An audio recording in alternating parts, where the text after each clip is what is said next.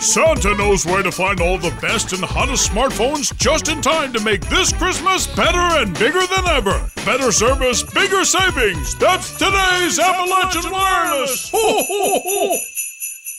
In July, EKB News brought you the story of an attempted grave robbery in Martin County. The grave that was disturbed was that of Emily Howard, and the incident left family members hurt and confused.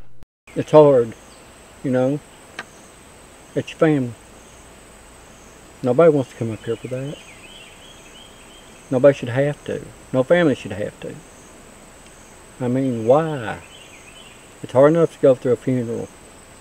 But 15 years later, have somebody come and dig your mother up. That's despicable. Absolutely despicable. Within just a few days, the Martin County Sheriff's Department arrested 35 year old Jennifer Luster and 33 year old James Howard, both of Inez, and charged them with violating graves. Today, both Luster and Howard appeared in Martin County Circuit Court for sentencing. James Howard was sentenced to serve one year in jail, and Jennifer Luster was also sentenced to serve one year in jail, but that sentence was probated for three years. Mr. Howard was actually the individual that basically made the decision to do this, began engaged in doing this, did the actual physical activities involved in the crime.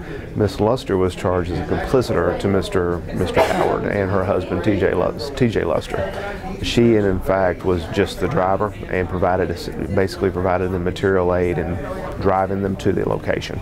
She was not involved in any way in the desecration of the graves. Howard was credited with time served and looks to serve out his sentence in March. Reporting from Inez, I'm Shawn Allen for EKB News.